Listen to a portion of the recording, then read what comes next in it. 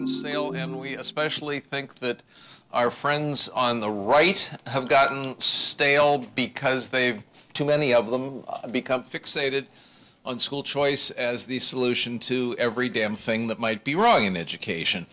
And uh, we think it's a good thing, school choice, in almost all of its uh, variations. However, it is not the solution to everything um, or, the, or the answer to all of the issues in education. As you're about to hear, incidentally, in these two terrific papers that we, that, that we have today. Um, I feel like I've known Kay Hymowitz and Nick Eberstadt approximately forever.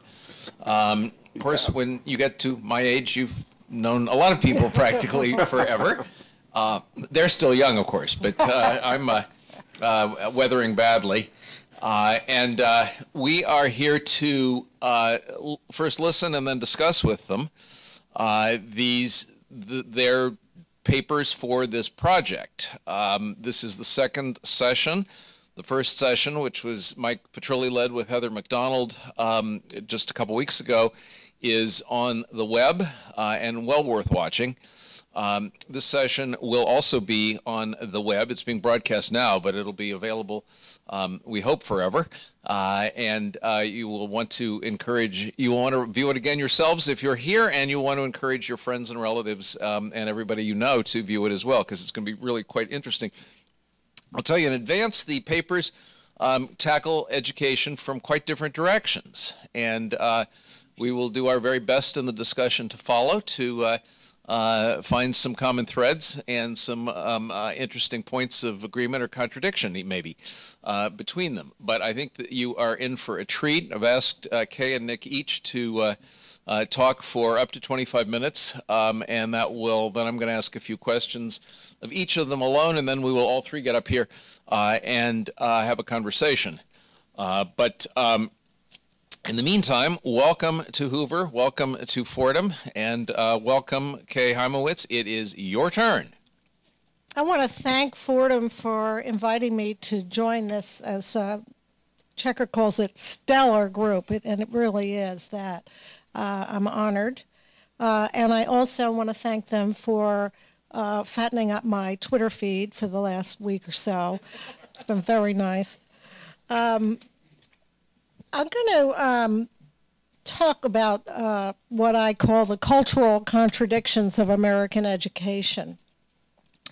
Ever since the early 2000s, educators have really been focused uh, on the disappointing school performance of low-income kids, and they were, of course, right to do so. As education became more critical to climbing the ladder into the middle class, poor children, as we know, are being left behind growing inequality, intractable racial disparities, and moribund test scores and college graduation rates signal that America was not fulfilling its central promise of opportunity for all. So I'm going to uh, risk seeming a little privileged uh, and ask us to turn the magnifying glass for a moment back to the middle class. Uh, they are, of course, statistically speaking, not the ones struggling to read and pass their algebra exams, and they're not the ones uh, flailing in our globalized, knowledge-based, and very volatile labor market. But I think if you understand certain facts, fundamental facts about the middle class mindset, you have a better chance of diagnosing what ails our education system, not just as it affects the children of two doctors or think tankers, but also those of a single mother bus driver. Um, let's not forget that schools are designed and administered by college educated middle class professionals, and they inevitably bring their own cultural psychology, or perhaps you could say biases, to their task. And what I want to convince you of today that there is something in that psychology uh, that makes running a classroom and designing a curriculum at all levels and for all students, rich and poor, something of a paradoxical undertaking. As I said, it's a cultural contradiction. Now, in order to uh, explain that contradiction, I um, want to go back to the baby in the nursery. Cultural psychologists, um, these are people who study the way culture shapes cognition and emotion, have done some fascinating work comparing the behavior of American mothers and their sisters in young motherhood in other countries. And their research actually illuminates a little understood uh, realm of American exceptionalism. Consider one but revealing study of parental attitudes towards sleep. Uh, this one is by Sarah Harkness and Charles Super. Uh, and uh, they are, I think, a husband-wife duo who've done some just really fascinating research on for, in cultural psychology. Now, they compared a group of Dutch and American mothers of newborns, and they discovered that the two nationalities, uh, despite actually some fairly close historical connections, had very different theories about what was going on inside those tiny brains. The American mothers uh, saw the tired or wakeful infant as expressing his own internal desires, his own internal drives babies know in some uh, subconscious way and signal when they are tired and how much sleep they need. Uh, Dutch mothers look at their uh, children much differently, at their babies much more differently. They believe parents must provide children uh, it's what they call the three R's, and it's three R's in Dutch, which I don't know. But uh, two of the R's can be uh, uh, translated into regularity and rest. Here's a quote from the study. Whereas the American parents describe their uh, child's sleep patterns as innate and developmentally driven, the Dutch parents hardly mentioned these ideas and instead, instead spoke frequently about the importance of a regular sleep schedule, which they saw as fundamental to healthy growth and development. I don't know if we have any uh, parents of young children in the room, uh, but you might be interested to know that at six months of age, Dutch kids were getting an average of two hours more sleep per day than their American self regulating counterparts uh, which uh, I think might be um, enough to, to, to make uh, converts of some of you. As the sleep study hints, from the time a child is born, American parents, or more specifically middle class American parents, act on a cultural belief that each child is an individual with a very distinct inner nature and unique needs, abilities, and predilections that inner nature demands their preference, their deference, and their even their reverence. Most of foreign cultures, past and present, would find this a little well, a little weird. For most of human history, the job of parents and the broader community has been to turn the uncivilized child into a capable citizen of an existing community with its own rules and history. Um, just to give you um, one example from France um, that I have from a, a, British mother who was raising her children in Paris, she says that the French think of the child as, um, quote, a small human being ready to be formatted. I love that. Partly by its parents. It has to be en cadre, kept within a clearly and often rigidly defined framework that places disciplines such as manners and mathematics above creativity and expression. Maybe some of you are thinking, oh, so there's, that's what I've been noticing about American kids.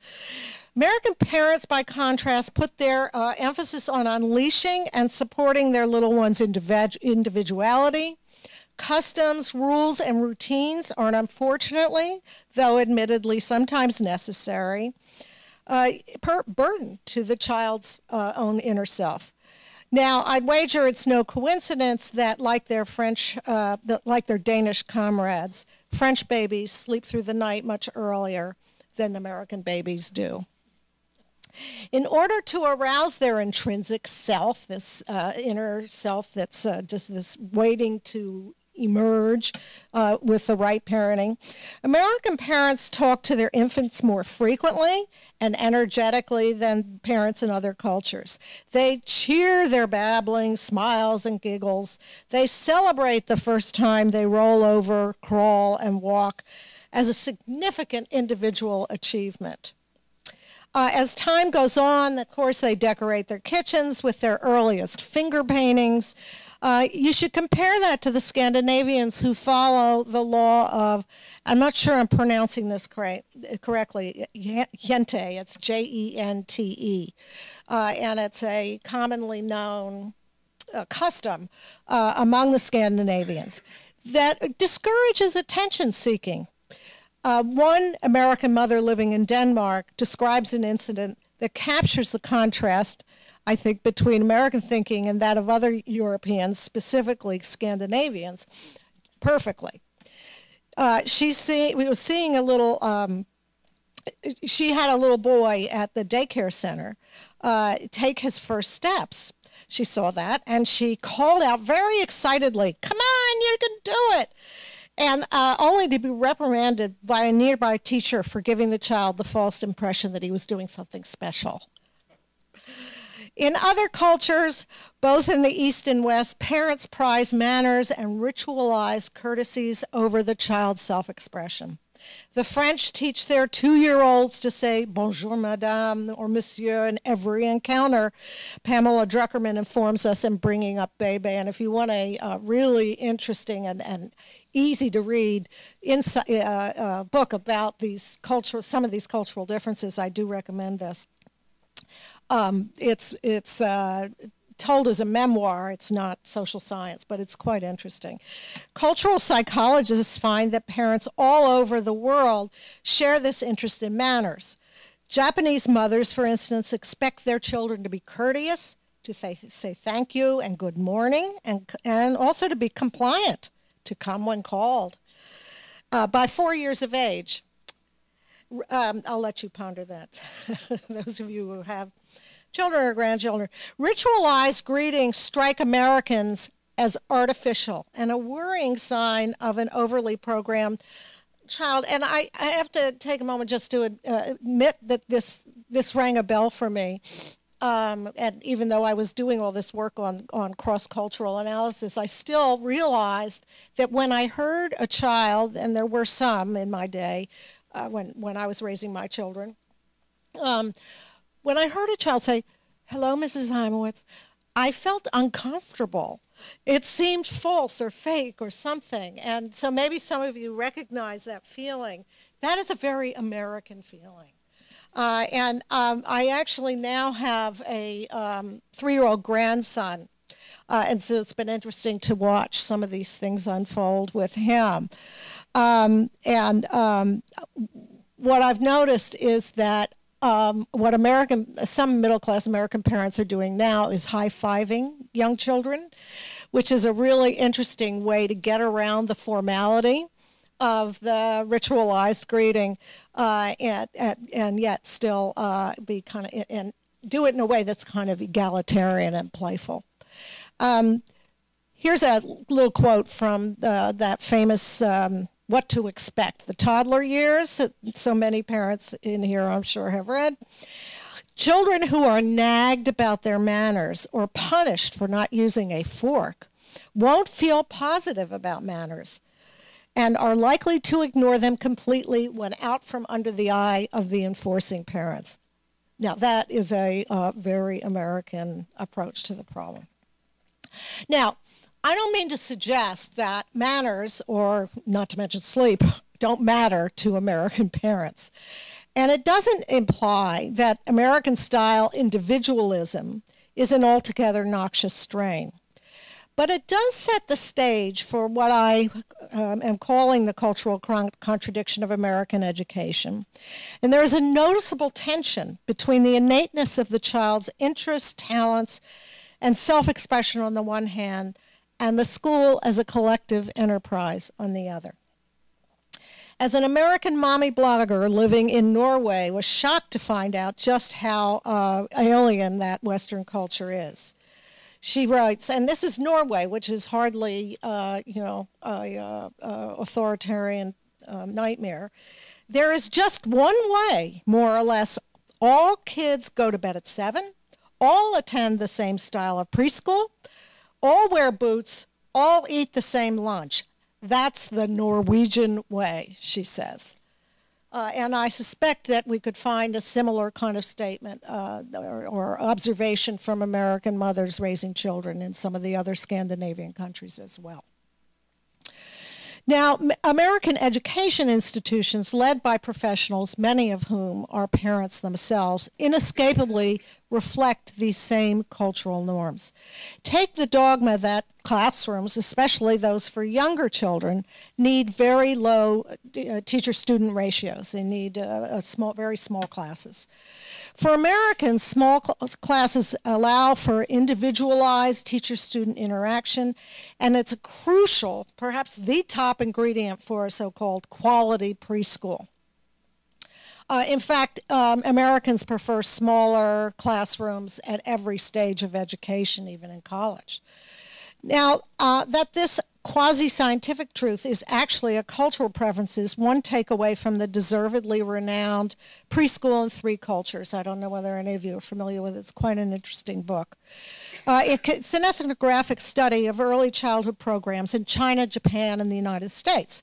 And the research compared and videotaped these classes. And the interesting part was that they showed teachers from each of these countries the tapes of the other countries uh, and they asked American teachers to comment on what they noticed in the, in the Japanese and Chinese classrooms. As it happens, in Japan, it's not unusual to find a class of 34 year olds, 30, you know, 34 year olds, uh, 30 being the number of kids, with only one adult in the room. Unsurprisingly, after seeing the videotapes, tapes, American teachers objected that Asian children weren't getting the amount of individual attention they needed. Asian educators watching tapes of American preschools had the opposite reaction. They actually prefer larger groups. American children, they worried, were being confined in a quote, narrow world. One Japanese teacher asked, I wonder how you teach a child to be part of a group in a class that small. The small classroom is crucial for educators trying to manage the cultural contradiction between each child's individuality and the presence of other, ch other children with their own in unique individuality. At Japanese preschools, children learn ritualistic traditional greetings, songs, and festivals this what this piece I love. They don't celebrate the children's uh, individual birthdays um, but rather all the birthdays of a given month on a particular day in the month. Think of all the cupcakes you wouldn't have to bake if you if you lived in Japan.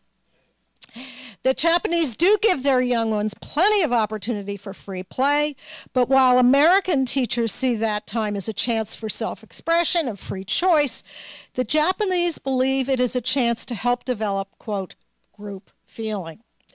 The former read books that teach respect for others and cooperation. Americans like I Think I Can, I Think I Can, stories to encourage individual achievement and self-esteem. Uh, and American teachers not only give their charges, preschool teachers give their charges plenty of choices. They talk about those choices repeatedly throughout the day. What would you like to do? The classroom is a teeming warehouse of activities, uh, sure to elicit the interest of the most hesitant child. The preschool and three cultures researchers theorize that Americans seeing, see giving a child plenty of choices as the best way to appeal to his intrinsic motivation, which, if you think about it, is kind of a very American thought, uh, it, uh, a concept itself. Now, the relevance of this early childhood anthropology for K through 12 educators should be easy to discern. Americans, uh, parents and preschool teachers are unknowingly preparing children to thrive in a particular sort of classroom. When a middle class youngster, youngster trembles at the kindergarten door on the first day of school, if she has been raised by American born parents, she has undoubtedly been empowered to make choices for herself, to have her talents and interests recognized and prized, and to speak up about her preferences. She is the perfect customer for a child centered, constructivist classroom dedicated to intrinsic motivation. One who will work well with the guide on the side rather than the sage on the stage. Low income children, unversed in the ways of what's your favorite color? And use your words and good job, a word that a phrase that my grandson I think heard has heard 5,000 times, are entering a foreign country. The singularity of middle class American child rearing and preschool helps explain the stubborn hold of many progressive ideas on the educator's imagination. And it helps explain the frequent failure of those ideas on, with poor children. Whole language, for example, is predicated on the same ideas about the child's intrinsic self as those embraced by middle class American mothers and fathers. Children learn to read by using their innate capacities the same way they do when they start talking. They don't need explicit instruction in phonics or spelling or grammar any more than they need lessons in how to ask for ice cream. Surround them with a variety of books so they can choose something to their liking and they'll discover sound patterns and whole words by uh, deciphering their context within a given story. The zeal for creative classrooms is also reflects a particularly American way of thinking about teaching and learning. Creativity enthusiasts see themselves as rebelling against mechanical industrial era drill and kill thinking that they believe dominates American schools. Uh, Do school, Schools Kill Creativity was, is the 2006 TED Talk by Ken Robinson, which was the most watched video in in, uh, in uh, TED history. He answered that question with a clarion yes. Our education system, he said, is a death valley, a system based on standardization and conformity that suppresses individuality, imagination, and creativity. Uh, he wants they want he and people who are follow that kind of thinking uh, want uh, classrooms full of uh, creative teachers who shun traditional subject matter and assignments like worksheets, tests, and essays in favor of dioramas, videos, acrostic poems, which I didn't know existed, but evidently is a favorite these days, uh, songs, and various projects. A creative teacher, one of the highest compliments that can be paid to our guides on the side, is said to make for joyful classrooms and students. Uh, and as future minded pundits repeat endlessly, creative thinking is essential for 21st century jobs. Now, I don't uh, want to deny that Americans have every reason to revere the creative brains in their midst. And our legendary ingenuity, innovation, and dynamism has been crucial for improving productivity and standards of living worldwide. Uh, we have, are the birthplace of innumerable world changing inventions the automobile, the suspension bridge, the light bulb, the iPhone, the hot dog. Uh, and the country remains the leader in the number of Nobel Prize winners and patents. But this creativity cry, craze pushes right into that dead end cultural contradiction I've been harping on. Creativity doesn't always play well with others. Self expression can be at odds with civility, and order and safety demand that children curb their energies and keep their voices down. If the complaints of American educators are to be believed, today's school children are not such good students. At, uh, or C, maybe C students at best, when it comes to self control, motivation, civility, or what is called frequently soft skills. Employer complaints about millennials' soft skills gap, that's an expression you see a lot in the managerial literature, have become a recurrent topic at management conferences and uh, in their reports. Um, they complain about younger workers who have trouble getting to work on time, collaborating, communicating, and in general dealing with work, workplace discipline and authority. If you think about it, this is one predictable consequence of hyper individualism of middle class parenting and teaching. The guide on the side appeals to the child's unique inner nature, but fails to, to challenge what I think is his natural egotism and immaturity. It also, uh, the, the, cultural contradiction also helps explain America's uh, curriculum battles. The hyper individualism conflicts with any notion of education as a structured transmission of knowledge from one generation to the next. The traditional disciplines that liberals used to, and many conservatives still prize, gets reduced from a shared body of knowledge to, at best, a rummage sale for enhancing individual meaning, identity, and creativity. Uh, they, educators also don't care for the subtext of traditional teaching. It communicates adults' recognition of children's inescapable ignorance. The teachers know something the child does not know. The teacher is an authority. The child is, well, a child. Personalized learning is the latest effort to, or latest reform to weaken the idea of education as a collective social activity. It portrayed as the welcome routing of 21st century know-how over the industrial age teaching. It's better understood as the supreme pedagogical expression of American individualism. Supporters, including powerful Silicon Valley charities like the Chan Zuckerberg Foundation, the Bill and Melinda Gates Foundation, and the Susan and Michael Dell Foundation, want to use data and digital technology to more fully customize education to push teachers even further to the side by training children to rely, on their, quote, own self reflection and self assessment. That's kind of scary. Um, personalized learning obviously bypasses any notion of shared curriculum, shared expectations, shared knowledge, and even the classroom itself. Each student is an island with their own personalized learning path. It's too early to determine what effect this latest foray into uh, hyper-individualism will have on flesh and blood children, rich or poor.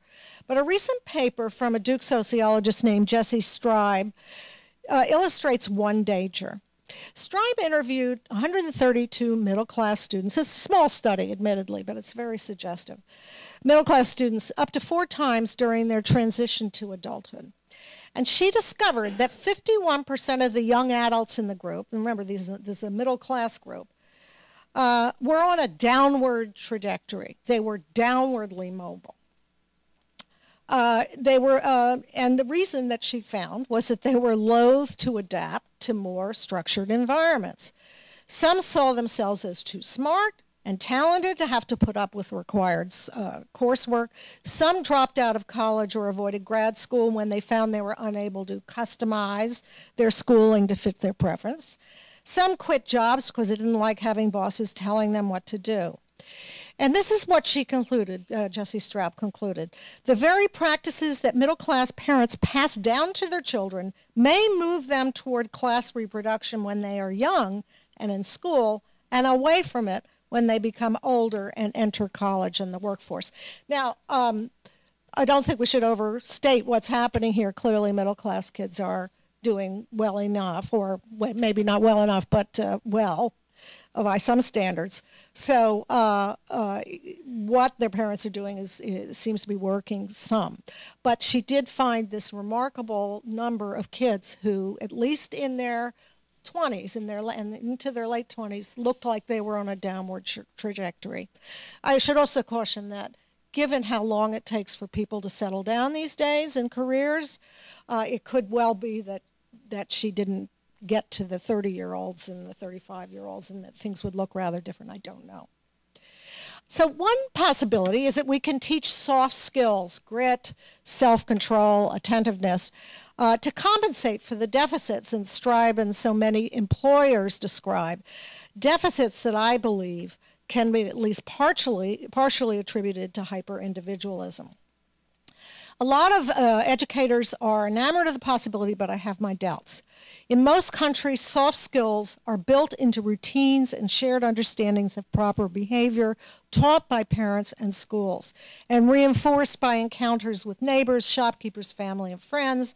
One of the French mothers quoted in Bringing Up Bebe explains that she insists her child say bonjour, madame, not because she sees her child as a martinet, but because she, uh, excuse me, she wants the right the, to remind her children that, quote, they're not the only ones with feelings and needs. With no soft skills curriculum in sight, the child is learning habits of empathy, humility, uh, and persistence, and possibly other things, emotional control, self efficacy, and so forth. The American child, free to be you and me, has far fewer opportunities to practice these character virtues and turn them into habits.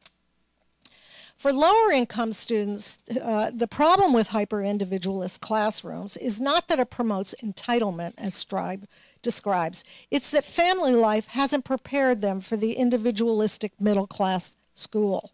In all likelihood, their parents haven't organized activities around their interests and strengths. Perhaps those parents haven't even had the time to notice those, those strengths and interests.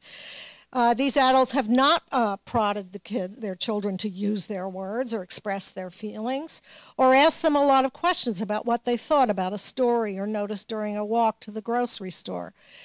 These the kids, lower income kids, uh, lack, in other words, the cultural literacy to extend E.D. Hirsch's invaluable term to thrive in the contemporary classroom. I think this helps explain why charter schools with structured curriculums, rigorously defined rules, and expectations have sometimes had better success with disadvantaged students. Those environments are less dependent on the uniquely American middle class vocabulary and ideals. Now, I want to end with a point that perhaps has occurred to some of you apart from its um, impact on learning, we need to consider what role an excessively individualistic pedagogy plays in the coming apart of American society. Growing up in a multiracial, multi-ethnic environment, American students already share fewer commonalities than students from other homogene- from, from more homogeneous nations.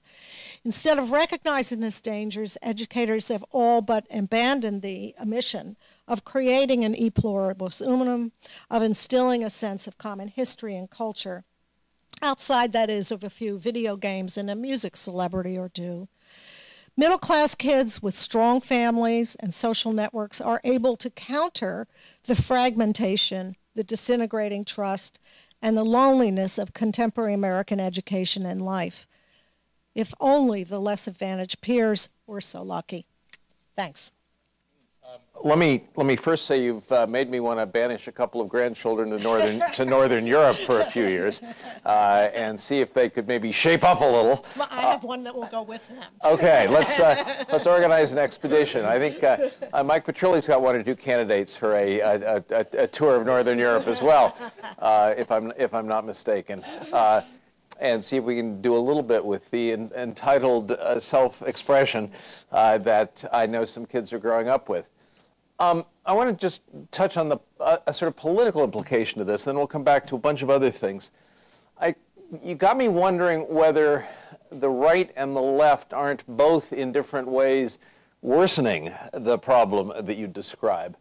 Uh, the right, by its obsessive view that uh, essentially choice, as long as you are meeting your own, meeting your own needs and those of your child, uh, you've taken care of the education problem. Uh, even if that means there's less commonality, less common core, if I may use the expression, uh, less unified civic anything.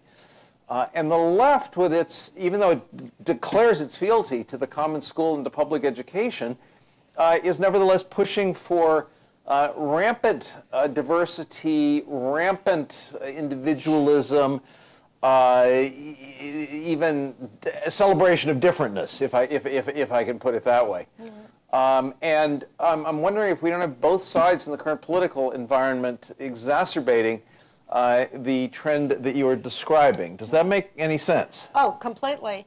Um, and it, the, the thought that came to my mind was that, that federalism itself poses a bit of a problem here, doesn't it? Uh, because, um, you know, we, we basically say to the states, you know, you're on your own here, you, you know, you, you should do it the way people do it in your state. Uh, and, um, you know, which further separates all of the states and certainly uh, you know, the blue states from the red states and so on and so forth. So I think, yes, it is a political problem, and I think it's shared on both on both sides. And federalism then goes on to local control. Exactly. I am, I am for my sins still on the Maryland State Board of Education, and uh, trying to get Baltimore County and Montgomery County to use the same curriculum is impossible. Yeah. Yeah. Trying to get them to evaluate their teachers in Yeah, the same way yeah. is impossible. I mean, look, it's, it is one way that the Americans have, for better and worse, and somewhat successfully dealt with their, with our diversity, uh, is to allow more localism, to allow, you know, to encourage more local expression of uh, local values. So it's, Yes. a, it's a very tricky line to walk, I think. But we then push diversity into identity politics, Yes, right, and there's not much left in common. right, We'll come back to this. okay. Meanwhile, one of the nation's foremost demographers, uh, Nick Eberstadt, your turn. thanks to uh, Fordham, uh, thanks to the Hoover Institution, and thank you, Checker, and thank you, Kay. It's a delight to be here with you, and ladies and gents. Um, I'm going to be uh, I'm going to be looking through the other end of the telescope at some of our educational questions. I'm going to be uh, taking a look at our uh, what I would say is a crisis in our labor market and asking the question of uh, education's role in this crisis. Um, the role perhaps in contributing to the crisis and the role, uh, if any, of uh, remedying and um, redressing this crisis. I'm going to be talking mainly about uh, what I regard as a crisis of uh, work for men in America. I'm going to be focusing on that. Uh, by doing that, I am not in any way trying to slight the jobs problem that women in the U.S. Uh, today, I believe, uh, face uh, very much as well. The reason that I'm going to focus upon the guy part of the problem is because this development has been unfolding for much longer. It's been unfolding since the um, since the 1960s, and its uh, its depths, uh, I think, are much more more acute. Um, so. Uh, I think we can start by looking at the male uh, work crisis and then maybe later on examine the work crisis that's developed for women since more or less the turn of the century. But I'll look at the guys first. If you, you will, at this point, you're going to have to suspend disbelief and pretend that, uh, pretend that you completely believe what I'm saying. Uh, and that I, that, I have, uh, that I have data and facts which I could uh, adduce to, uh, uh, to make my case for me. But the background, the background to all of this is the virtual, um, I think we could call it, collapse of work for American men in the post-war era. And we know that there are a number of uh, quite remarkable and positive things in the U.S. economy today. We know about the extraordinary increase in the generation of private wealth. We know about uh, some of the innovations that Kay talked about, uh, other discoveries and um, uh, important uh, breakthroughs. But when it comes to looking actually at, um, at work rates, at, uh, at, at employment, we've got a situation which is not the almost too good to be true economy which we've been hearing about uh, lately. It's, it's really something more like a disaster. Um, if you take a look at the latest job report, the one, the monthly jobs report, which came out with figures for September, um, there's something that's called the employment to population ratio. It's basically a work rate. Um, the the work rate for guys 25 to 54 years of age, for civilian non-institutional males, uh, prime working age as it's called, uh, was a little bit lower last month. I mean, more or less as we're having lunch today. If we look at the 20 to 64 group as well, also lower last month than it was in, uh, in the 1940 census. So it's not, um, it's not hyperbolic to say that the work problem for guys in America today is roughly on a kind of a Great Depression scale um, uh, proportion. um, there's a big difference, though, between the work problem for modern American men today and the work problem in 1939. Back in 1939, there were uh, basically uh, just two employment statuses for guys. You either had a job or you were looking for one. You were either working or you were unemployed. The big transformation in the post-war era has been the emergence of a third employment status, which is uh, not in labor force, NILF, uh, neither working nor looking for work, being out of the workforce altogether. And that's been uh, the fastest growing segment of the American male working age population over the last, uh, over the last two generations. Um, if I had a chart to show you, uh, I would show you that today, for every uh, American guy 25 to 54 years of age, uh, who is formally unemployed, who is um, looking for work and doesn't have work. There are over three guys who are neither working nor looking for work. Okay. So you will appreciate that if we talk about the unemployment rate, we're looking at less than a quarter of the problem, right? Uh, this is why uh, this is why I think it's very important to look at what's called the declining labor force participation rate for guys, which is, and this rate has gone down uh, very steadily, almost relentlessly, uh, for the past 50 years. Um, under President Obama, the Council of Economic Advisors put out what I think was a very important report on declining uh, male labor force participation rates. And I think they get all sorts of plaudits and kudos for bringing the spotlight on that problem. Um, what they suggested, and I think this stands in line with um, received wisdom in much of the uh, labor economics community and in much of the policy wonkery community in the rest of uh, Washington, D.C., is that the problem that I'm mentioning to you is very largely overwhelmingly due to structural economic change in our economy. Um, and more specifically, to a um, decline in demand for labor for people with less education and less skills. Um, if this assessment, which I think is the prevailing assessment in Washington and in the academy, uh, turns out to be accurate, then in one sense we've got a sort of a hopeful prospect because this is something that education can actually address. If what we've got is a problem of too many guys with too little education, we can try for better or worse, to throw skills at it, to throw education at it. Um, there's something that we can do to try to remedy this aspect of the problem. Um, what I'm going to argue in the next few minutes is that uh, that assessment uh, doesn't look to me to be entirely correct. And I am not saying uh, that the demand side, what economists would look at as a demand problem, isn't there. It certainly is there.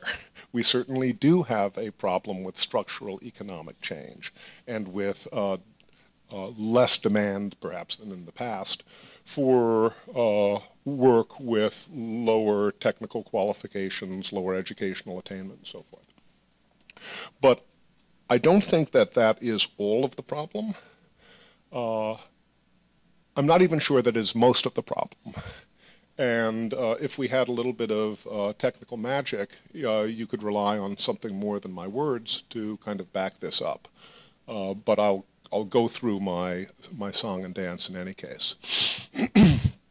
no, if, if if what we have seen over the past 50 years with the um, virtual collapse of work for uh, many uh, groups in America, uh, is a demand and skill-based uh, problem, we'd see certain things, you know, which would kind of um, uh, would track with that. One thing which does happen to track with that is the work rates for prime age guys with, from different educational uh, levels. It is true that work rates have come down the least for men with college education. Uh, it's come down more than that for men with just a high school degree. It's come down the most for men who have no high school degree. So there is certainly a correlation uh, across the educational categories that would seem superficially to track with this received assessment. But there are many other important points that don't track with this assessment, and indeed should be very difficult to explain in terms of a demand-based shock, demand-based phenomenon. Do you think you're going to be able to get that up? No, okay. Um, all right, well, let's go through this quickly then. Um, and you'll, you'll have to take my word for it, which is uh, not the way that I like to teach. Um, if I were to show you a graphic uh, depicting the percentage of guys not in the labor force from 1965 to the present, you would see, and you'll have to take my word for this, um, you would see an almost straight line going from a low level of maybe 3 or 4 percent in 1965 to a level of about 12 percent today. It is not an absolutely straight line. Uh, there are little jiggles in it. For those of you who do like um, statistics, it's got an R squared of 0.97, uh, which is, I'd like to think, a social science straight line, since people are a little bit unruly. Um, what this line does not do is the following. it does not show a shock at the time of the Great Recession, which is what you would see if this were a demand-side problem, you'd think. It does not show any corresponding shocks during the previous six recessions between the Great Recession and 65. You can't look at this line and see where China entered the World Trade Organization. You can't see where the U.S. Uh, agreed to NAFTA. You can't see where all of our beautiful little disruptive technologies came in. If the problem were a demand shock, a demand side problem primarily, the line that I'm describing couldn't exist. It wouldn't happen that way. Okay, um, here's another thing you'll have to believe. Um, let's say that I had a chart and I were going to show you the U.S. male labor force participation rate in relation to all of those of other never communist OECD countries. What you would see is, a, is that the United States uh, wins a race to the bottom that we shouldn't want to win. Um, U.S. labor force participation rates for prime age guys fall faster and further than any other rich democracy in the world. Now, it's very hard to explain that from a demand side perspective because the U.S. economy wasn't the slowest growing economy among the rich economies over the last 50 years um, nor, for that matter, did the United States have the lowest level of educational attainment of any of these economies. The United States actually has one of the very highest levels of educational attainment of any of these economies. And you can say, well, maybe Americans are matriculated every step, but they haven't learned anything. Um, if you go, I, I understand that's a, serious objection. Uh, but, okay, fine. So then you go and you take a look at something like the OECD's PISA tests, which do international standardization for pupils in grade school and high school, or at their PIAAC tests, which look at adult learning, adult learning and skills, and try to standardize these things internationally. The United States is not at the bottom. I mean, the United States may be mediocre, but mediocre means like the middle. So this is another thing that can't be explained by a demand side uh, theory of what's, uh, of what's ailing American male workers. Um, one last thing. I mean, um, let's just use one more thing. Uh, if there are structural disadvantages for the least skilled in our society, um, one might think that workers without a high school diploma would all be more or less in the same boat when it comes to workforce participation rates. Um, however, nothing like that turns out to be true. And uh, you will have to believe me for now, uh, but if one were to show the workforce participation rates for guys without high school degrees in the United States, and to parse these on the one hand by whether these guys were born in another country or in the US, and on the other hand, parsing it by whether the guys are married or never married, you would have four completely distinct lines going in different directions. And the gap between the uh, participation rate for the married and never married um, native born guys would be about 25 percentage points. Even among friends, that's a big gap. Uh, and if you wanted to look at the highest, which would be married foreign-born guys, and compare it to the lowest, which would be never married native-born guys, you'd have a difference of about 40 percentage points. Now, uh, it's very hard to make the case that this has something to do with skills and education in the terms that educators usually use those words, right? I mean, I'm all for uh, thinking the best of international education systems, but somehow I don't think that Salvador's, El Salvador's K through 12 system is really 40 points better than the U.S. Uh, uh, corresponding K through 12 education system in terms of imparting marketable uh, labor force skills. there are things going on that I don't think can be explained uh, easily or perhaps even at all by uh, the received notion that we've got too little demand for less skilled labor especially labor for guys in the United States. So if that's not a satisfactory explanation, what else might be going on?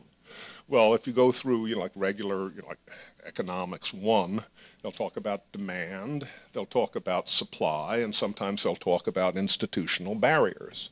So let's take a look at uh, supply, at things that might be holding back, withholding the supply of work into the labor force. One of these things might be the way that our social welfare programs work and our social insurance programs work, and in particular, the way that our disability archipelago works. Uh, Uncle Sam does not do a very good job of gathering statistics on beneficiaries of disability insurance systems. And that's because we've got a lot of different systems and those different systems don't talk to each other. They don't play nice with each other. Uh, we've got in under the Social Security Administration, we've got SSI and SSDI. The Veterans uh, Administration has veterans benefit. There's work, uh, workman's comp. There are local and state disability insurance systems. They don't match up. It's impossible to get a single uh, number for the total um, uh, for the total number of men of uh, prime working age who are receiving one or more disability benefits in the United States today. It can't be done. Uh, who knew?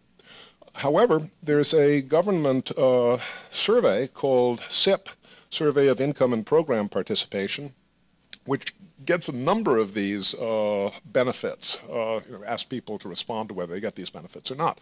Um, they, they, uh, they ask questions about a number of these benefits, and when you look at this, which is as good as you can get right now, you see that about three out of five of the prime age men who are not in the labor force uh, report they're receiving one or more of these disability benefits, which is up about 20 points, almost 20 percentage points from a generation ago. At this point, at this point, more men uh, not in the workforce in this key group uh, report that they're receiving disability benefits than do not report this. It is, it is a main source of income for men who are not in the workforce. And that is not to say that it that disability insurance as it exists has caused this situation, but certainly it is financing a non-workforce life for, ah, thank you. Uh, if you take a look at the benefit patterns for men who are not in the workforce uh, by educational status, you see a really awful thing, uh, this quite, quite a tragic thing uh, that I'll try to explain from this chart. So you, this is showing this is showing beneficiaries by educational attainment. So if you look at uh, the first bunch of lines clumped together, that's um, you'll see that guys without some without a high school degree, about 75% of them report receiving one or more disability benefits.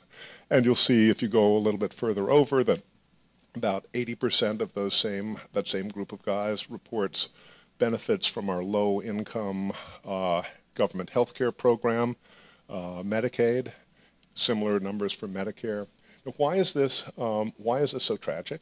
Well, you all know about the opioid crisis, right? You all know what's happened in America over the last 20 years with the opioid crisis. Now, more people are dying in America from opioid poisoning now than from homicide or from uh, vehicular injury. Um, until very, very recently, uh, well, let me back up one step. Um, if you qualify for disability insurance, for enrollment in eligibility and disability program, within a few months regularly, under ordinary circumstances, you also qualify for either Medicaid or for Medicare, depending upon how much work history you have in your biography. And until very, very recently, any state in the country, and the District of Columbia, um, you could go to a pain pill factory, and if you found the right pain pill doctor, he would write you a script for 90 Oxycontins for 30 days, and that's a lot. Uh, and your out-of-pocket would be $3, and the rest would be paid for by Medicare Medicaid. Um, th uh, this is like uh, a screaming public interest magazine blazing example of an unintended consequence of government policy. I mean, this is just completely unintended, a horrible, uh, inadvertent consequence. So uh, inadvertently, through disability insurance and our national healthcare system, we help to turbocharge the uh, opioid epidemic. Why am I mentioning this in particular here? Because uh, Alan Krueger at Princeton, who was President Obama's uh, head of the Council of Economic Advisors, has since, uh, has subsequently in his work showed that something like one half of the guys in this group who are out of the labor force report that they are taking pain pills every day. Okay. this is what um, would be called a supply problem. This is not a demand problem. This is a supply problem. Um, so let's go on to one last one, please. Okay.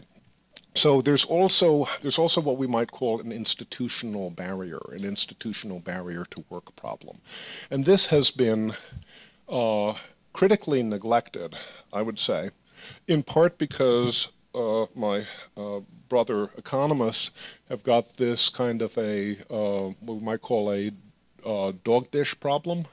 Uh, they've got wonderful skills and techniques for analyzing well-behaved data sets.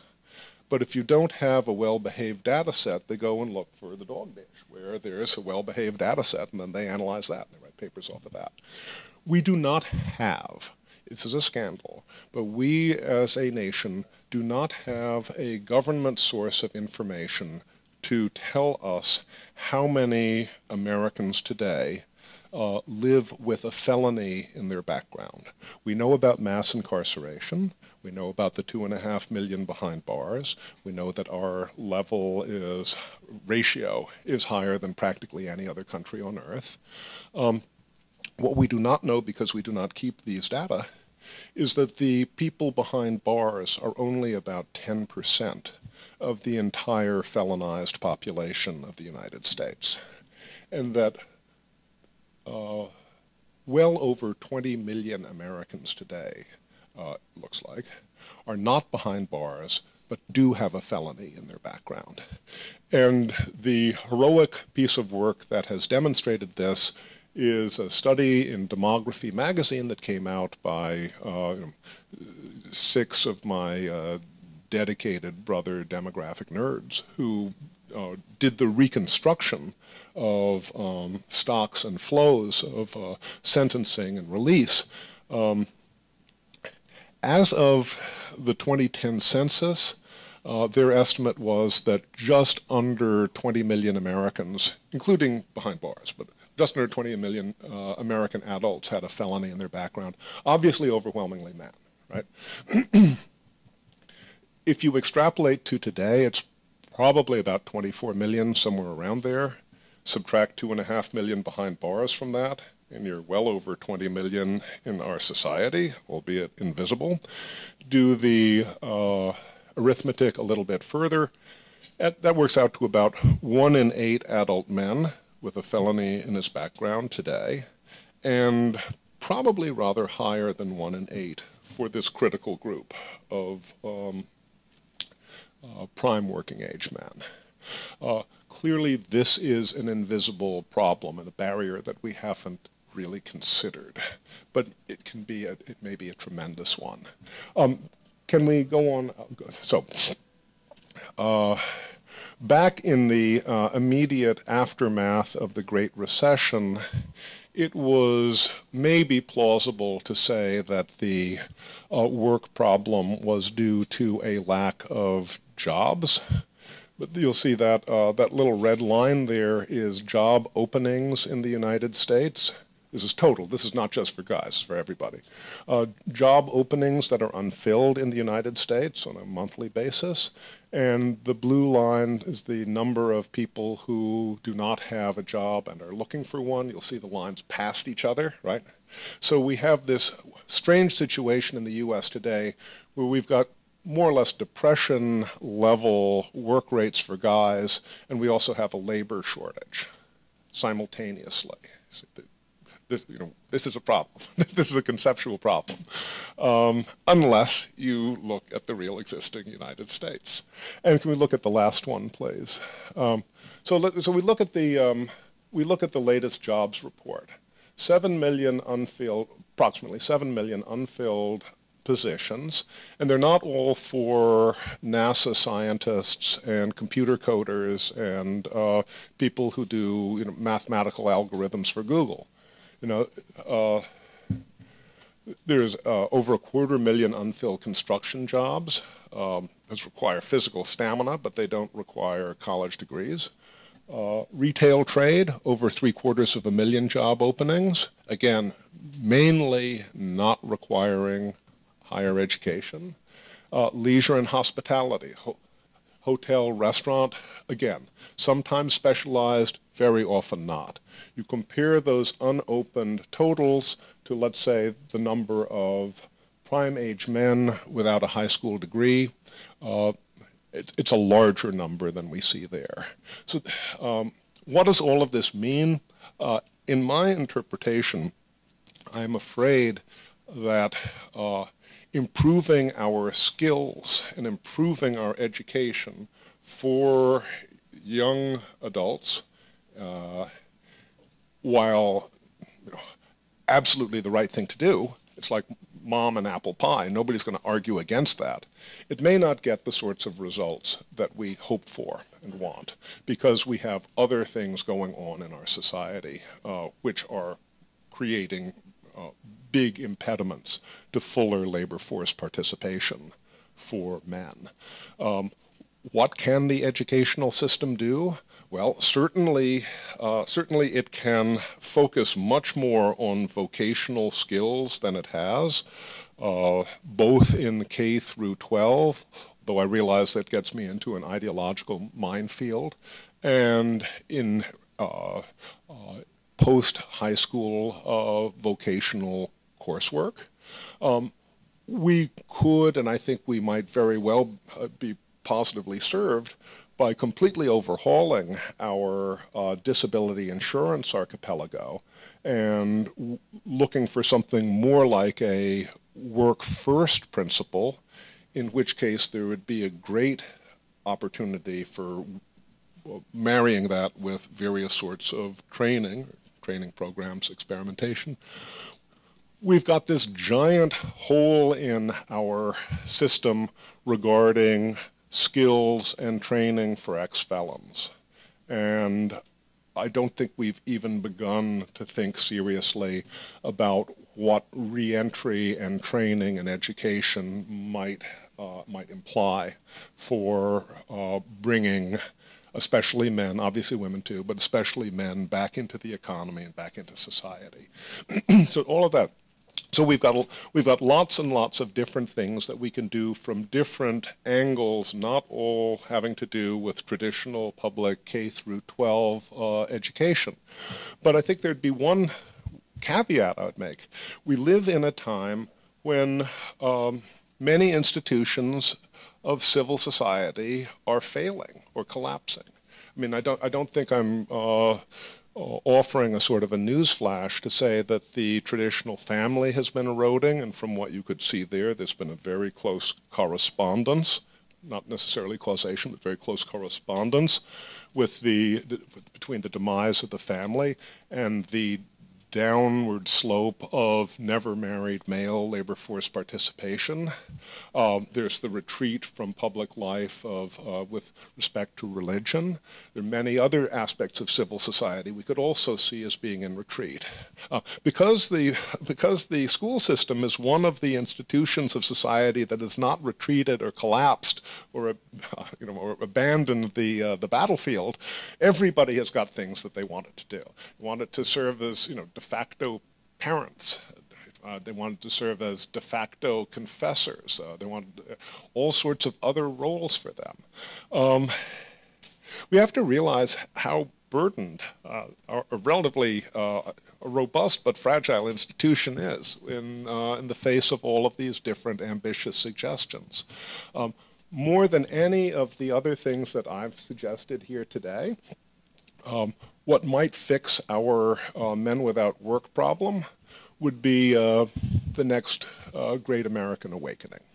I can suggest that, uh, but I certainly uh, can't propose any way of uh, managing that, and I'd be terrified if Washington uh, became seriously interested in trying to uh, micromanage that.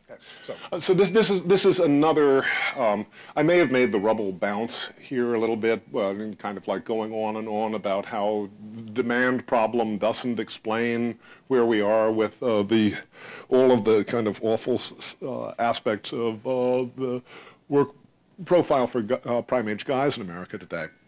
But this is one. Um, so I admittedly was uh, trained in economics only slightly after the end of the Stone Age.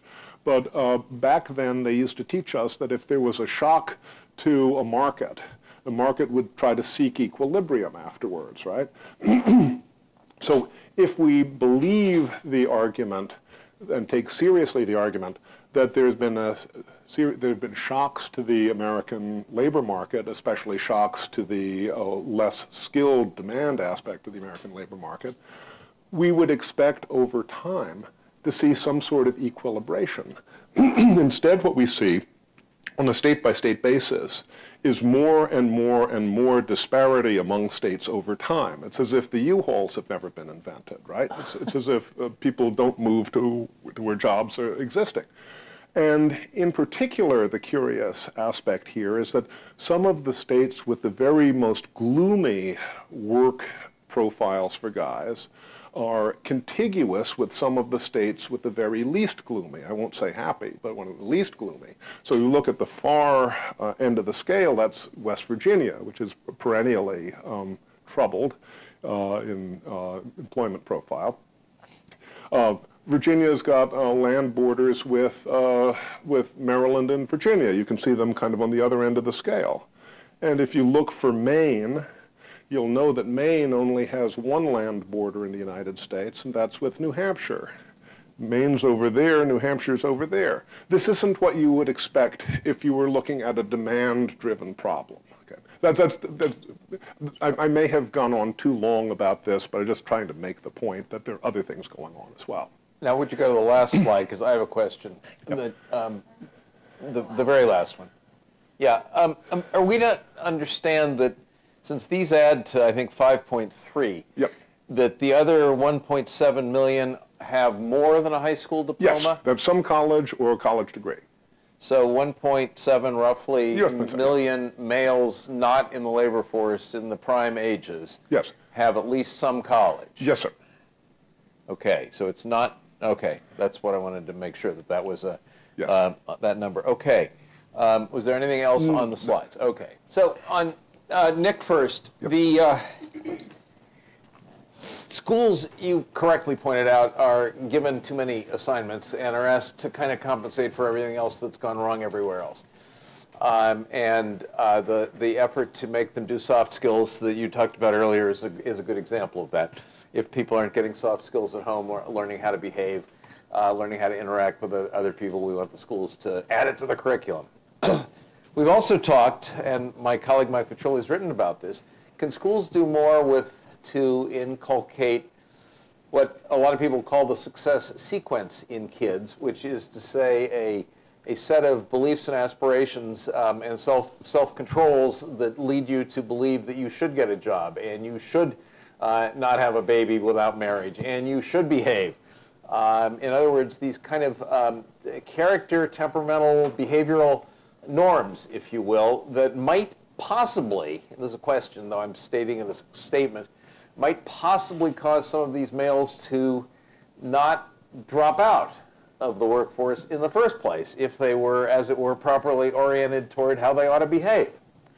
Well, uh, I'm not the one you should ask that. I should ask that question to you. Yes. I mean, 'cause I don't know whether schools can do that or not. I mean, I'd love it if they could, uh, Checker. I mean, if, if you think about uh, what would be what would be best in either a optimal, desirable, in either a uh, religious or a uh, secular context, I think one would say that no matter what level of technical skills one ends up with, one would like to see uh, young men and young women uh, have their uh, tendencies for integrity and for reliability reinforced somehow through education. I mean, it's easy for me to say that because I don't know at all how a school system would do that. But um, just, just to uh, put in counterpoint here, so we've got, you know, we've got all of these guys who are out of the workforce and are playing World of Warcraft and uh, well stoned. You know, uh, we saw it there. Okay. Now, um, there is some discussion in the uh, labor economics uh, guild's uh, literature about how once you get out of the workforce, you're kind of lost. You know, if you're out for 18 months, out for 24 months, it's like you know, kind of a decay asymptote function or something. And, and you're like you're gone or you're lost in space. But we know that's not quite true because we've got this existence proof in post-war America that tens of millions of Americans were able to be out of the labor force for years and then re-enter. Mm-hmm. And those Americans were called women. And they were mainly called mothers. now, what is it that a mother has that a World of Warcraft guy does not have that makes her a desirable entrant into the uh, labor force? Reliability, keeping to a not just a calendar, but keeping to uh, a clock. Um, A no sense, of sick- sense of obligation. Oblig- this, is, this is what I'm saying. Reliability and integrity. No matter what your skill level are, those are things that I think employers find very valuable. Can I add something Yeah. here? Um, I spend a lot of time actually studying family breakdown. And have written about it quite and a lot. Written Yes. about it a lot. Um, and my, my conclusion is, and I, I won't attempt to convince you of it, I'll just assert it, is that um, a lot of what's happened has to do with the changing role of women. And um, you have a certain cohort of men who basic, whose, whose women, wives, or potential wives, girlfriends, Yep. realize that they can manage on their own. And they might be better off on their own, to be honest. Uh, and I think that the, this is a, it creates a, a vicious cycle where men who might have been able to pull themselves together and get a job or uh, be, you know, stay off the drugs or whatever because their kids were counting on them, no longer feel that way. They're kind of an extra, um, you know, almost irrelevant to, to family life in certain communities now. And I think it's been a catastrophe for, for young men, for, you know, for, for non-educated young men in particular. disconnected from family, disconnected Yeah. from work, disconnected from other aspects of civil society as well. I'll tell you one little calculation that I think I put into my chapter. Um, if you look at changes in um, changes in family structure and changes in educational attainment. Uh, over the last 50 years, we've had a tremendous increase in at least matriculation. I don't know how much people have learned, but they've gone, they've stayed in school a lot longer, right? And the people who have stayed in school a lot longer are also a lot more in the workforce. We, uh, we've had a uh, collapse of the previous family arrangement, and there are now new arrangements uh, where the guys who are not in the workforce, no matter what their educational level, are way less like, I mean, no matter what their uh, educational level, they're way less likely to be in the workforce. The increase that we believe we've gotten from education has been almost entirely offset by the adverse trends in family. I mean, when you think of how powerful the increase in education has been over the last 50 years, the disintegration of the family looks on the surface as if it's had an almost equally adverse effect to that. That's a big deal. That's a very big deal. Um, your prime workforce, your data were basic, were based on prime age. What do you call it? Um, Pri- Prime working age that men. starts at 25, 25 to 54 is the one they, yeah. So- The Bureau of Labor Statistics does that, not me. So I do keep wondering what's happening to these guys before they get to be 25. uh, do they have jobs? Do they have part-time jobs? Do they have any work experience? Do they have any? Uh, I mean, we know they're going to school up to a point, Yep. uh, and and we know that for better and worse, high school graduation Yep. rates are up, and college matriculation rates are robust, and stuff like that. Uh, though certainly by no means everybody. Um, but uh, what is happening during those in-between years, those formative years, I might even call call them, uh, and I don't think we necessarily know very much about what's happening to those who are not in an educational institution during those formative years.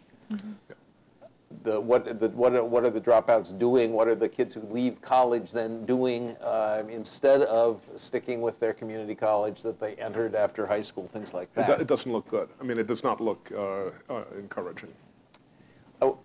Your felony population, your, your uh, people with a felony in their history, is the main point that they emerged from prison lacking uh, relevant skills, or is it they've got a felony on their record and no one will hire them, or is it both? It's, it is infuriating, Checker, but there is so little information I can't answer your question. Uh, what I can, uh, what I have done, and uh, since, since the government isn't much help on this, there are some private surveys, uh, Okay. some, sometimes supported partly by government funding, which look at what they call criminal justice history, you know, which is like the um, weird term for like whether you've been in trouble with the law. Uh, and if you look at that information, it seems to suggest that no matter what a guy's age or ethnicity or educational level, mm-hmm. no matter any of that stuff, if he's been to prison, he's way more likely to be out of the workforce than if he's only been arrested. And he's way more likely to be out of the workforce if he's only been arrested than if he's never been in trouble with the law. Now, you know, we'd say uh, that kind of that, that passes the laugh out loud test for me. I, I think that probably is correct. What we don't know then, as you were intimating, is whether this is because you lose skills when you're in prison or whether uh, employers discriminate against people who've got a record or whether we've got a kind of like an adverse uh, selection problem in the sense that people who are more likely to get into trouble are also less likely to mm-hmm. be attractive job candidates or something else or mm-hmm. all of these things. But because we don't have the evidence, we can't do, you know, can't do policy analysis on this or come up with evidence-based policies. It's infuriating. We can't get inside that 20 million person population to mm-hmm. see what exactly it is that they're, they're, that is their problem. Well, I mean, this is this is something. I mean, this is like you know, we always talk about good uh, good government. This is like bad government. Um, I, I have been uh, I have been trying completely without success for about two years, not full time, but you know, kind of like off and on, to get the one righteous uh, senator uh, down the block to write a letter to uh, Wilbur Ross and to say, you know, we'd like uh, to hold a hearing on work, and could you please uh, link up the records on parole and probation with the jobs report so that you can tell us what the work rates are for people in these. It would take it would take one worker bee at census, maybe two weeks to do this, and they could assure the privacy of the records. Yeah. There's zero interest uh, in this for reasons that just mystify me. I, I can't, and, it, and it's blue and red, it's male and female senators. I don't see any pattern to it except that it's, it is, it is what our uh, mentor, uh, Pat Moynihan, would have called uh, benign indifference, except it's not benign. Can I ask you a question? Yeah. Um, are these men, uh, do, do employers always check records? Um, if you've No. had, a- if you had a felony way in the past, Well, it, it, de- it depends what sector you're in. Like if you're trying to get a job at Citibank, probably. Um, if Right. you're going to, uh, if you're going to be a short order chef for mom and pop, not. probably not. Uh, you know, the people who do the big manpower survey sorts of things say that when they do manpower checks for employers, about one to two percent of the, you know, professional top white collar people turn out to have little problem, and about 20% of people in the more or less the blue collar level. So not everybody does it. And in the states where people have tried to, you know, ban the box, we have another uh, classic public interest magazine, Unintended Consequence. Then employers assume that everybody's a crook, and uh, and they overcompensate. By race they do, And- yeah. yeah. And then they, they hire less than they would have yeah. before. yeah. By ban the box, you're referring to the not allowed to ask Yeah. about a criminal Yeah, record, right? exactly. Um, and that certainly happened in some states, has Yes. it not? Yeah. And, and it, and it seems to have an adverse, banning the box seems to have an adverse impact on the hiring of low-skilled minority men Yeah. because employers then assume Yeah. that everybody's a criminal, Yeah. Yikes. Yeah. or they seem to. I mean, that's what seems to happen. Okay, I want to come back to soft skills for a minute. Are we really saying, in essence, that the effort to make schools attend to both social emotional health and soft skills is, may be in part a consequence of our very preoccupation in schools with individualism and the fact that kids are not arriving uh, in seventh grade having already got the what we now think of as the kinds of soft skills that employers would value because they are, haven't been getting them from their middle class parents or from their third grade teachers. Yeah. Uh, I guess I am saying that, yes. Is that what you're saying? Uh, it is what I'm saying. Um, let me let me just uh, think for a moment what, what how I want to elaborate on that. Um, I, the point that I made in the paper, I would want to repeat now, which is that in most societies, children have an opportunity to practice certain kinds of behaviors that are soft skills. It's just, it's built into their environments. And that is much less the case in our middle class homes, uh, and much less the case, I think, in a lot of low income homes where parents simply aren't available. uh, and the communities are not particularly supportive of uh, those soft skill activities. So uh, I would say that yes, we're not we're not giving kids the opportunity to show to, to learn the humility, the self-control, the uh, the um, attentiveness that comes with just a certain level of civility of learning of knowing how to control yourself in a in a restaurant. Um, one of the wonderful uh, parts of this bringing up Bebe that I keep talking about is where she described the author describes uh, her uh, little girl, American born, mm-hmm. uh, going to a creche, which is a preschool, I guess a, a pre preschool. Yeah. And at two years old, those children learn to sit through four course meals in the creche. With, with wine, no doubt, it's and to evaluate, evaluate it as well. How was the Roquefort today? right. So imagine that, yeah. you know, imagine that. Uh, if we try to take my grandson out for for a meal, he inevitably he's got a video of Paw Patrol in front of him at some back point. To, back to Norway. back to Norway with him. and, and, and, and, and, and, mine too. Yeah. Um, but the middle class parents who are encouraging their kids to make choices and express their individuality are also correct me if I've got this wrong, signing their kids up for scouts and soccer right. and right. piano lessons and all this stuff that actually fosters some of these kinds of norms and skills and behaviors and, and, and, right. and so on. That's right. And I and I, I gave you a kind of I don't want to say a caricature, but an exaggerated vision of things. I think that there are an awful lot of American parents, middle class parents, educated parents who realize something's not quite working and they are trying to find ways to discipline their kids uh, in, in a way that's consistent with their own understanding of the child's needs. So um, there are just uh, uh, you know hundreds of books about how to you know uh, one that I saw recently, one two three magic, where you explain to the child, I'm gonna I'm gonna take something away from you at the count of three. Um, that's a that's a classic, become a, a kind of well-known approach to this. But uh, what I'm what I'm trying to say is that yes, there's a lot of self-expression, but I think there's an awful lot of attention uh, and um, some restraint going on in the in more successful families. And some of it comes from actually the the kid version of civil society, yeah. which is Cub Scouts and a yeah. swim team and Absolutely. stuff like that, where yeah. there's a are expectations, their norms, there's coaches, there's behavior, there's sportsmanship issues, things like that. Right, and, and let's face it, if you go to daycare or uh, preschool, no matter how individualistic your teacher's thinking, mm-hmm. it ain't possible to really have kids that out of control, uh, that self-expressive, shall we say. You have to constrain yourself. Uh, under those circumstances. But the poor kids, the disadvantaged kids, are probably not going to Cub Scouts and uh, on the on the swim team. So those kinds of other forms of um, normative behavior, if you will, norming behavior, if you will, are they not maybe getting? Right.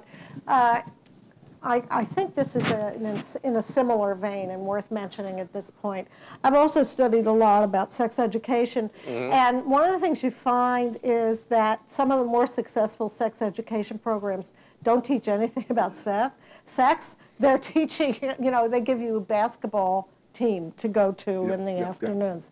So, uh, in other words, you, there are ways to approach this that, that wouldn't be direct teaching of soft skills, uh, but would be picked up in the environment on the activity can I, itself. Can I ask you and also Checker a question about this?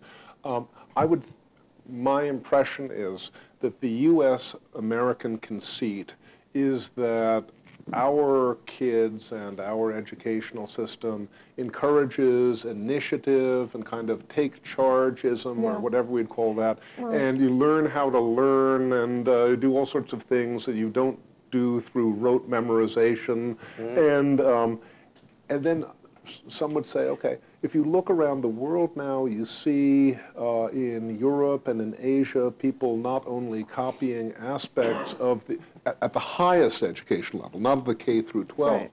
but in the business schools and things, not only copying this kind of American system, but bringing the Americans over to make them do it the right way. Right. So where, so, so where does the American self-conceit about what we do well fit into the whole panoply of what kids really need to have? And, uh, I mean, is, is it important, of limited importance, importance in certain areas, uh, just ignoring all sorts of things we should be doing instead? I mean, these things are always a matter of balance. You know, I, Yeah, I, I did, uh, uh, you know, I think there is something to the American way that we don't want to give up. Uh, and that we are teaching a certain kind of, um, or, or encouraging or promoting a certain kind of initiative, uh, innovative thinking. Um, uh, you know, you can look at the at the numbers of our uh, of our uh, patents just to get a sense of that. But um, it has to be balanced more, I think, with a sense uh, that you are part of a of a long-lasting community of uh, with expectations, with certain rules about about life that um, will constrain you to a certain extent. So again, it's a matter of balance. I would never want to argue that we want that we. I'm not going to argue that we need classrooms of 30 kids for preschoolers. I don't think that would work for us, but I think there is a, a more of a way to uh, figure out ways to counter. I want to come back to the class size in a, in a second because that's got its own issues associated with it. But on the balance point, Yeah. um, economists have argued, debated for years whether education is a public good or a private good. You know, it's a public good because the society will be economically competitive. It's a private good because it will enable you to support yourself and your family. Um, and they always end up, all the sane ones anyway, saying it's both. Uh, it is both at the same time, a public good and a private good, and uh, that is a balance that needs to be struck. We need to help people prepare themselves to succeed in life.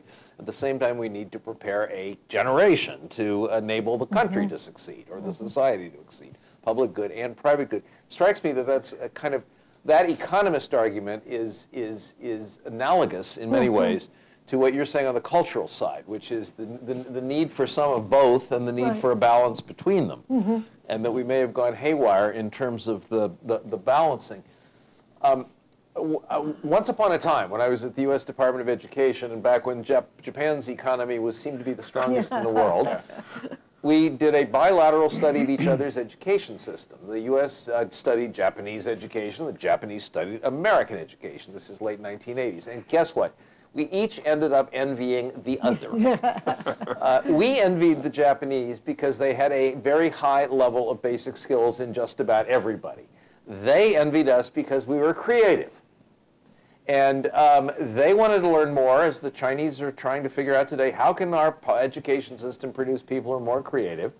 We wanted to know, how can we produce um, a much larger number of people who in, have basic skills? I, I had visions at the time of, of ships crossing in the Pacific um, as uh, Japan sailed um, eastward and, uh, we, and, and, we, and we sailed westward. Uh, but I think this is an, an, another balancing question. It's very difficult to teach creativity, Yeah. actually. Yeah. Um, it's a, as much a cultural thing, an, an expression of, of, of individualism and, and, and, and entre- enterprise and freedom and stuff like that. Uh, it's frankly a lot easier to teach basic skills. Um, but that only works in an environment in which there is an acceptance of the fact that there are common basic skills that everybody needs to learn. Right. And conservatives haven't been good at this lately. Uh, you know, coming out uh, crusading against the Common Core um, skills, for example, uh, crusading against all sorts of other kinds of efforts to bring some uniformity into in, in, into the educational process. I don't think liberals are very good at it either anymore. Um, but as I said earlier, I, th- I, th- I think allowing individual individualism, in their version of individualism, identity politics, and, and, and, and diversity, to substitute for a kind of common good a view of education. But on the narrower point about class size, the American obsession, and it's promoted not just by, by parents who want their kids in a small class, it's also, of course, uh, by teachers who want to teach a small class, and the unions that want lots more teachers, uh, which we will, and ed schools that do too. this ends up being why we don't pay teachers very well. Yeah. Because we have so damn many of them. Mm-hmm. Um, we have four million teachers in, in, in, in, in the American K-12 system. Um, and uh, it is the largest single workforce in America. Um, and uh, at that number, A, you cannot assume that only the best and the brightest will fill it because there aren't enough best and brightest to go around. And B, you can't pay very good salaries because uh, there are so many people need to be paid. And how does that compare to other countries? It's radically different. It's not just the 30 kids in the, in, in the, in the preschool that you uh, so we've done it to ourselves. I mean, when, when I was a kid in school in Ohio in the 1950s, the, the simple ratio of kids to teachers in America, public schools, was 1 to 27, 27 to 1. You look at the exact same data today, and it's 14 to 1. Wow. Does not mean that classes are all 14. It just means that a whole lot of people are employed as teachers. Some of them are specialists. Some of them are doing special ed. Some of them are, I don't know what they're doing. They're in the rubber room. Um, the, uh, uh, but um, it's 14 to 1 using the same long division wow. that, that in the 50s yielded 27 to 1. Wow. And so no wonder salaries don't keep up. I mean, salaries have just barely stayed flat because we keep hiring more and more people. Uh, and that's because everybody wants smaller classes. And uh, this is not a good thing for professionalizing the teaching workforce and all those other developments that we would like to see and happen. What, what is the ratio in some of these other countries? That... Be much more like 1 to 25.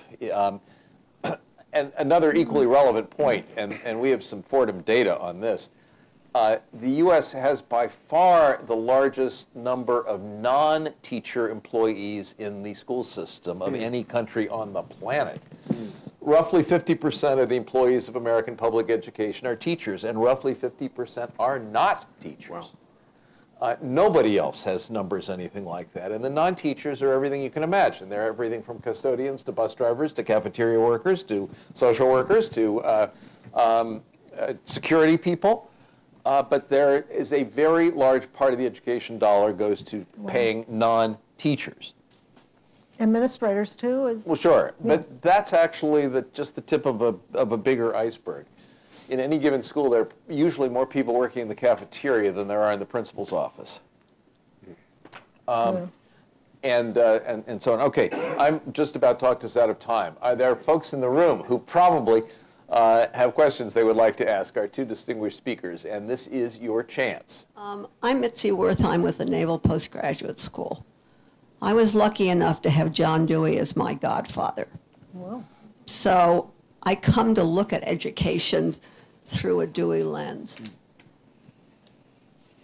I guess I've always started from the perspective that we didn't pay teachers well enough, and therefore they didn't have a lot of respect. I mean, that's the way they feel. I think the whole question of developing respect not only for the teachers, but for the kids in school, turns out to be a very important element of growing up. And Francis Fukuyama has a really interesting book out right now called Identity. Mm-hmm. And so you get this whole question of what is our identity like and how do we make that happen? I think we have I think we have to in fact pay teachers more. Now I know that that is at a local taxpayer dollars and that means that if you grow up in Scarsdale, New York, you have a lot of money. If you grow up in Yonkers, New York, you don't have a lot of money.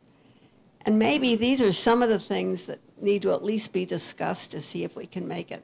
And how would you go about doing that? Well, they do keep getting discussed. School finance equalization has been an issue in every state in the country uh, and is currently an issue in Maryland, where I have the uh, ill fortune to be on a statewide commission on school finance yeah.